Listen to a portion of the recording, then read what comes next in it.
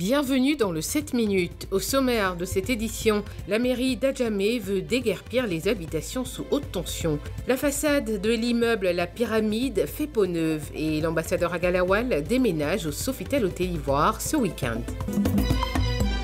La commune d'Adjamé est en deuil. Un de ses administrés a été électrocuté par les hautes tensions dans le quartier Williamsville le jeudi 13 avril. Une nouvelle qui attriste la municipalité. Comme solution pour éviter ce genre de drame, la mairie a décidé de déguerpir tous ceux qui vivent sous les hautes tensions.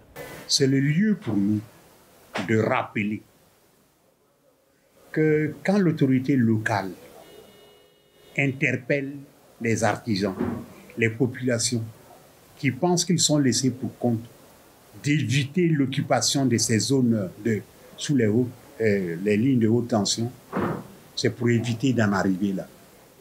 Nous sommes maintenant dans l'obligation. Allons-nous encore attendre un troisième accident avant d'intervenir? C'est vrai, les gens verront ça en mal. Nous les avons suffisamment interpellés. Nous allons continuer l'interpellation. Mais la mairie est à même, et cela ne saurait tarder, de prendre des mesures pour un déguerpissement de gré ou de force afin de préserver les vies humaines. Parce que rien ne vaut la vie. C'est la deuxième fois que le quartier de Williamsville enregistre en moins d'un an des dégâts relatifs aux hautes tensions. Il faut faire quelque chose.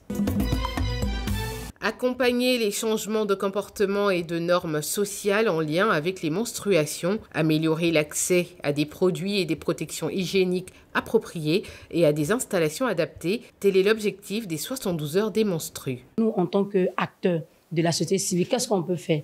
C'est de faire la mobilisation de fonds pour répondre à ce besoin, pour dire, avoir les règles, c'est naturel.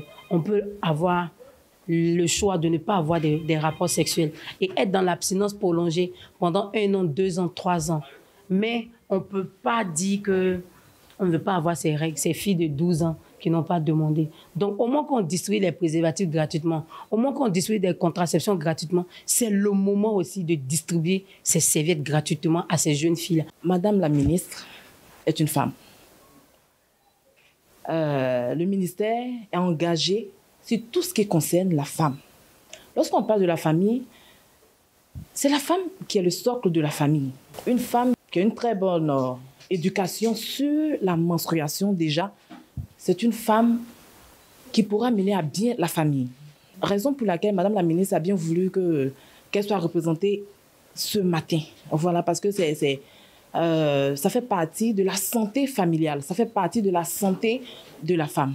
Cette deuxième édition de ce marathon des règles se déroulera du 1er au 4 juin dans les villes d'Abidjan, Tiasalé et Samatigila. Cette campagne sera meublée par des conférences de mobilisation de fonds, de renforcement de capacités, des campagnes de sensibilisation, des collectes et la distribution de 10 000 kits de serviettes hygiéniques.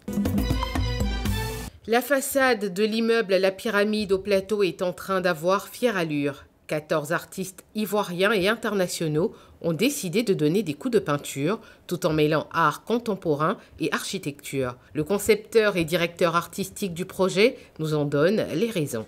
Et c'est vrai que ce, bâtiment iconique du plateau qui est la pyramide, que moi j'admire depuis, que, depuis l'enfance, depuis que je suis tout petit, et eh ben à force de passer devant et de voir la façade de l'immeuble, ben à la tristesse s'est mélangée la créativité. Et puis euh, j'ai fini par me dire mais pourquoi pas organiser euh, une performance d'art contemporain puisqu'on a euh, l'endroit parfait pour réaliser ce genre de performance. Le duo Douron, internationalement reconnu, fait également partie du projet. On s'est beaucoup renseigné sur la pyramide, euh, sur le symbole unique que représente ce bâtiment ici à Abidjan.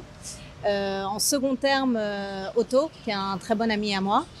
Et après le challenge, évidemment, parce que notre profession, c'est d'être muraliste.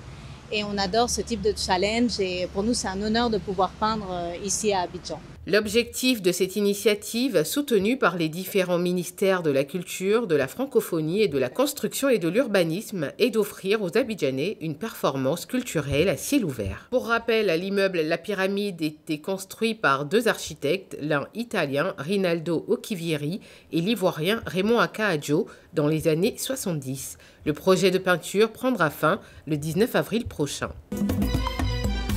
Et pour finir, l'humoriste ivoirien ambassadeur à Galawal de son vrai nom Kra Ignace a lancé le mercredi dernier au cours d'une conférence de presse son sixième one-man show intitulé Je déménage en présence de Oumar Diop, chef du bureau de l'UNESCO. Son nouveau spectacle peut être interprété de différentes manières et a une signification profonde au-delà de son sens littéral. Plusieurs personnalités de renom dans le domaine de l'humour en Afrique ont assisté à l'événement. Quand je dis one man show, c'est one man show, c'est-à-dire que je suis seul sur scène pour distiller la bonne humeur. C'est ce que vous appelez stand-up. Il y a un message. Je déménage, ça va symboliser une évolution. Une évolution, en tout cas un mouvement un mouvement, mais dans le sens positif. Parce que on ne déménage pas particulièrement parce que ça ne va pas, mais on déménage souvent pour atteindre d'autres réussites, d'autres succès. Moi particulièrement, c'est mon cas. Je pars du palais de, de la culture à Trècheville et j'arrive à l'hôtel Ivoire, Sofitel Hôtel Ivoire. Donc je pense que c'est un déménagement très positif. Notons qu'Agalawal utilise des images et des figures de style pour faire rire son public lors de ses spectacles. Il s'inspire aussi des faits de société et d'actualité pour rester constant dans son métier. Le spectacle se tiendra le samedi 29 avril prochain au Sofitel Hôtel Ivoire d'Abidjan et l'humoriste a donné un avant-goût de son spectacle aux invités présents. C'est la fin de cette édition, merci de nous avoir suivis. L'information continue sur cette info.